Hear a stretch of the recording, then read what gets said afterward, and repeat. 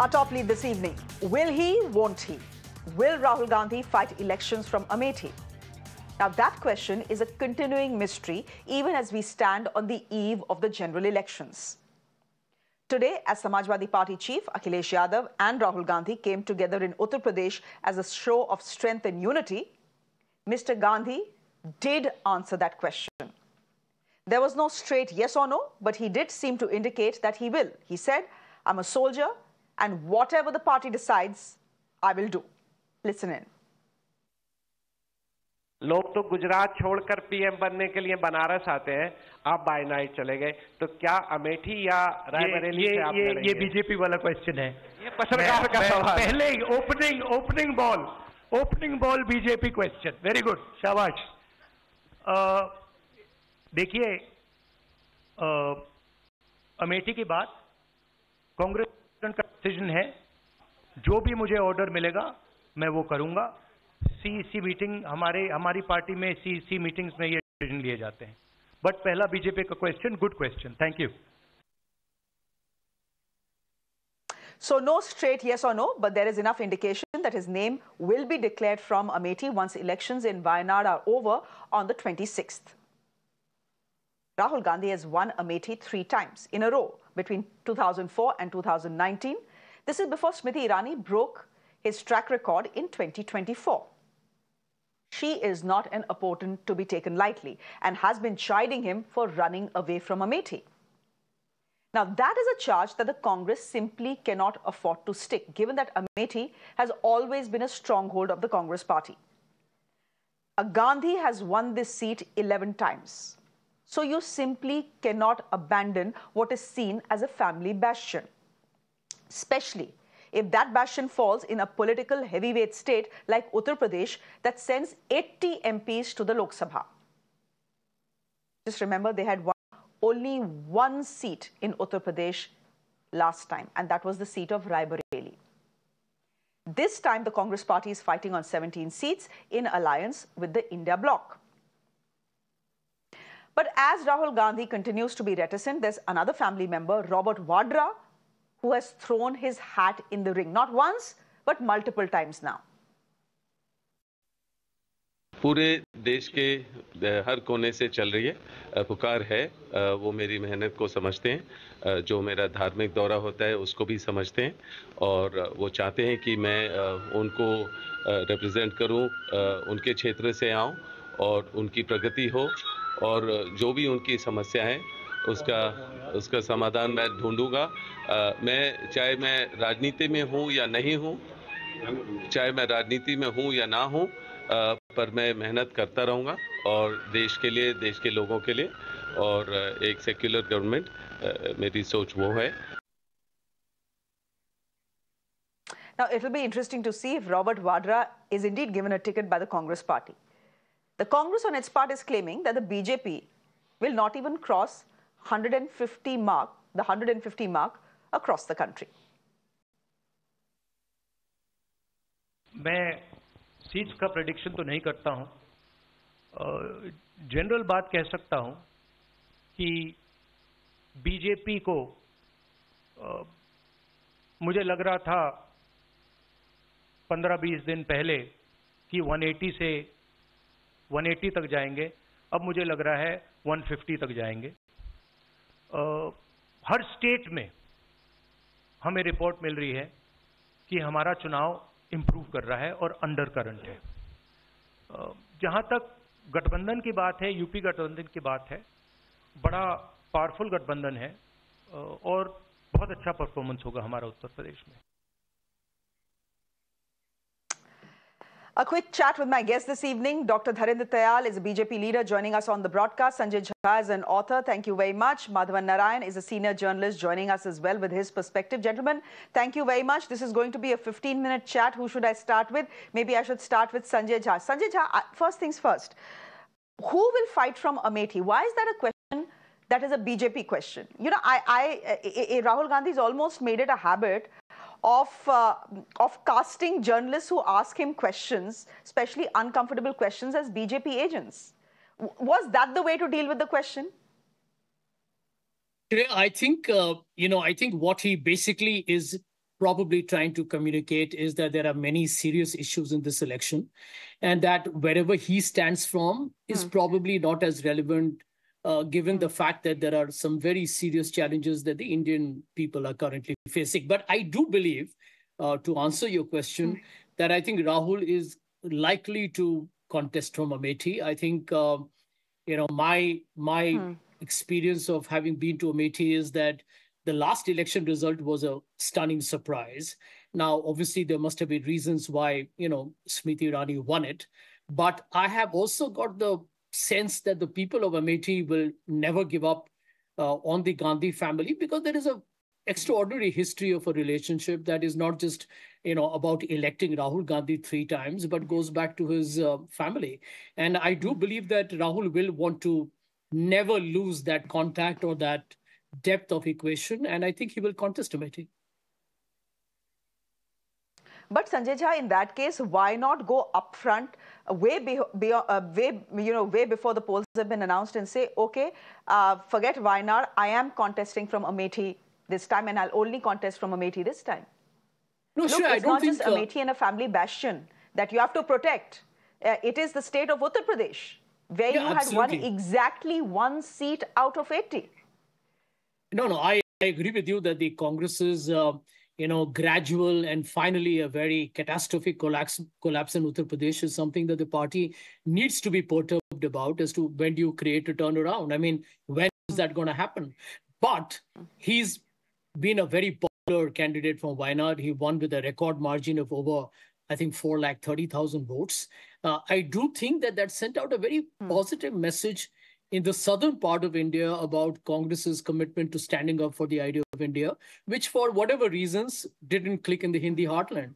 But obviously, I agree with you that in politics, in especially as a pan-India party, you're not uh, localized to one particular region or state.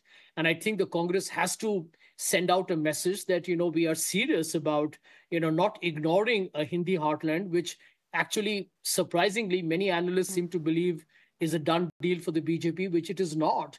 You know, so I do think that this election is still up in the air. And I think for Rahul Gandhi to contest from mm. Amethi, and let me add, for Priyanka Gandhi Vadra to actually mm. battle it out in Raebareli will send out a very positive message, will inspire and galvanize the Congress cadre and voters across the country. And it will also send out a message that, you know, the BJP mm. is not going to have any easy ridings or a cakewalk in any constituency in the northern part of India. Uh, the, the, the question is, will Priyanka Gandhi make her poll debut in Raebareli? By the looks of it, highly uncertain because, uh, you know, no one in the Congress seems to be talking about it. People in the Congress are speaking about Rahul Gandhi contesting from Amethi, but things are mum as far as Priyanka Gandhi and Raebareli is concerned. And remember, that is the only seat that the Congress had won in the elections last time in Uttar Pradesh. Dr. Tayal, come in here. All this while you're saying, bhagya, bhagya, Rahul Gandhi, darpok hai, एक हार के बाद south में भाग गया वो तो नहीं भागा By the looks of it, he's fighting the elections in Amethi as well. Now, what happens to your narrative of him being a Bhagoda? So, as yet, he hasn't come back. So, I don't know how you have already decided mm. that the narrative is over, if there was such a narrative. Number one. Number two, obviously, with the mm. Congress. Of course, there was. Uh, रोज तो sound bites आ रहे थे. Sorry? So I'm saying, the, sir, almost Congress, uh, every Smriti Irani has been saying the same thing in Amethi. That he's run away, he's run away, he's he, not fighting here. He says "Why not? is his family, is Amethi not his family. Obviously, that was the narrative ki ye bhagoda hai, bhag gaya south mein, ek har ke baad. Now what happens to that narrative, sir? Now nothing has changed. I think it is just a, a, a, a you know, something of, of, of falsification which is happening, something to hide behind. You know, as they said earlier, Rahul Gandhi submitted his resignation to Rahul Gandhi, who, after careful consideration, decided not to accept it to Rahul Gandhi. So Rahul Gandhi continued. So it is the same sort of a thing. Everybody knows who decides the seats in, uh, who decides the tickets in Congress. Mm. So let us not talk about it. And to Correct. say I am leaving it to the party, if the party मुझे command karegi, I will go to Amethi and contest as a soldier of the party. But unfortunately, the party did not ask me to contest from Amethi. So what could I do as a soldier? I had to accept. They uh, very after a, a, lot of careful consideration, they selected another minority-dominated seat from me because this time it is very uncertain whether I'm winning Wayanad because I've got two really heavyweight candidates against me. Or one of whom was supporting me the last time, so why not be danger mein hai? The important part here is what is the background of this whole thing? The background of the whole thing is the larger picture is that the ownership of the private limited company is in danger. Now, which is why Sonia ji quickly moved to Rajya Sabha, because if you are no longer the president of the party also, and the Gandhi is not in parliament also, you could lose the ownership of that private limited company that you've been running for so long. And Raebareli certainly is not doing that. I mean, uh, uh, there is some data which I had put forward, uh, going by, I've done some statistical analysis, and going by that, to 2024, I'm giving you my projection statistical analysis. Congress will get 5,24,000 votes in uh, Raebareli and BJP will get 6,07,000 votes. So Raebareli is a lost thing. And this is based on uh, trend analysis, the details of which I can share. So the basic problem here is that if he contests both the seats, Wayanad and Amethi, and loses both, it is terrible for the Gandhi family. He will have to, while they are talking about, let us not talk religion, very carefully selecting a minority dominated seat to go and contest from. Although their uh, uh, manifesto talks, mm. first thing it talks about is not the politics of religion, but please give me a minority dominated seat. My guess would be they would be looking at another minority dominated seat for Rahul Gandhi to somehow get him into the parliament. As far as UP is concerned, and like everything else, Congress party has abandoned UP. They've built. Hmm. UP and trying to look for something. The way they're going south, I think they're going to be very happy for the Ram Setu because they contested it. Like, Ram Setu hi bachayega. Kerala se niche Ram Setu tak jayenge. You're saying something. Sorry. Achha, nahin. Lekin the point is, the, the, point is that you are saying that uh, is also khatre mein. How is Wayanad khatre mein? I mean, we know that Wayanad is not khatre mein. Amethi, yes, there's a question mark. If he decides to fight, uh, is he in a position to win Amethi? That is a question that you can ask because uh, the BJP is very strong in Uttar Pradesh.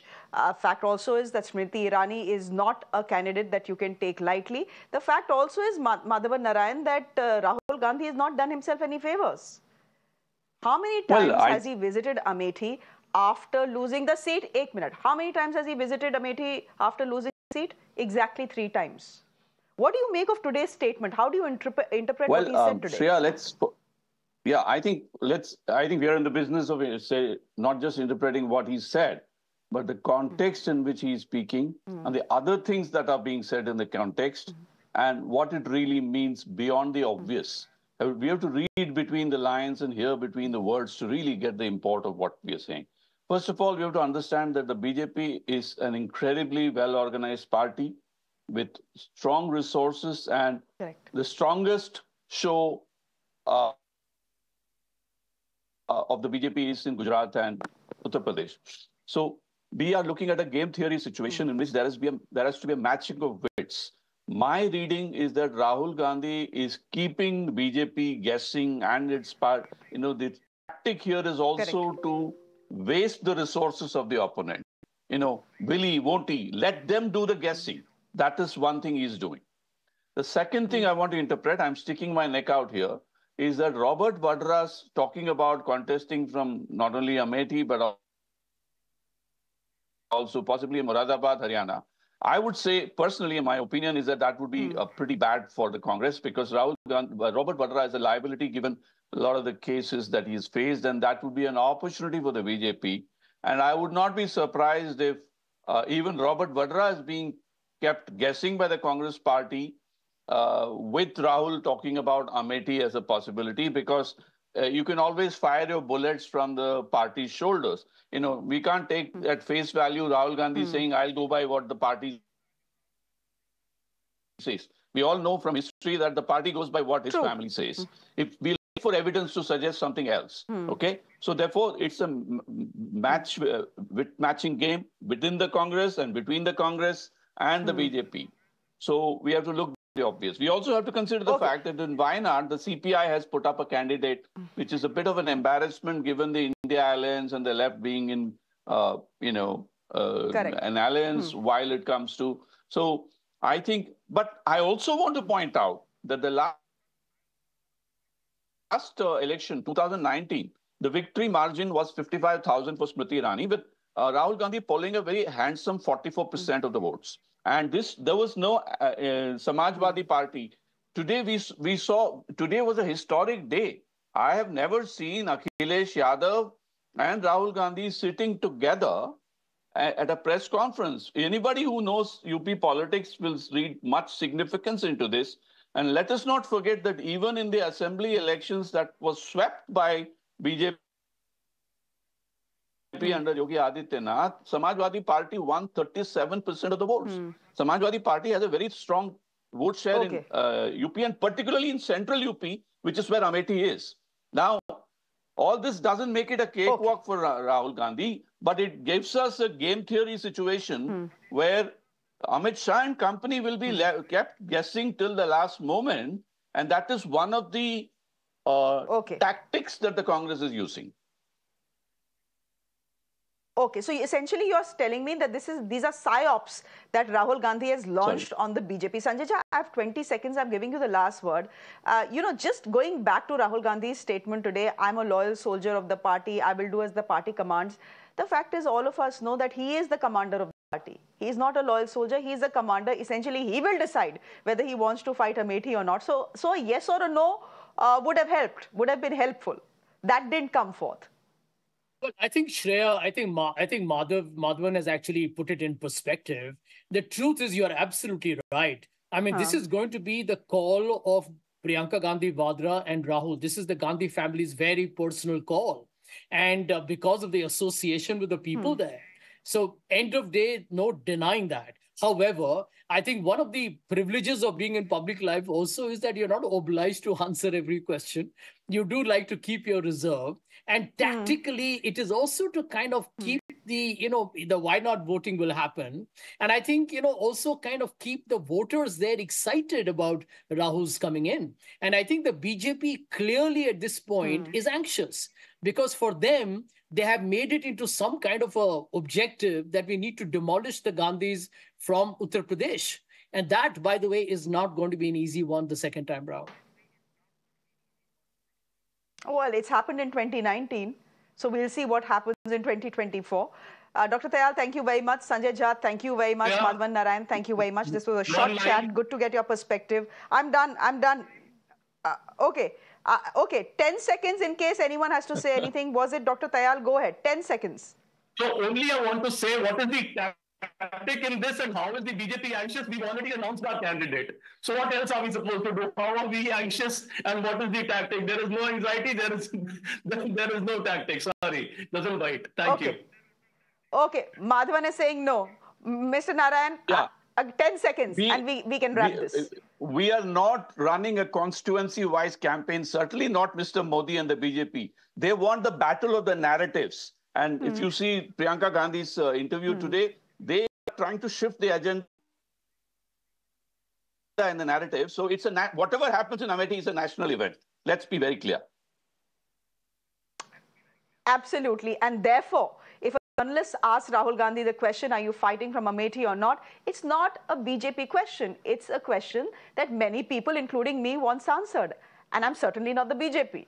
We'll leave it there for the moment. Dr. Tayal, thank you very much. Sanjay Jha, thank you very much. And Madhavan Narayan, thank you very much for joining us. Ladies and gentlemen, on that note, a quick break. Coming up next, a very special interview. That's coming up next. Do stay with us.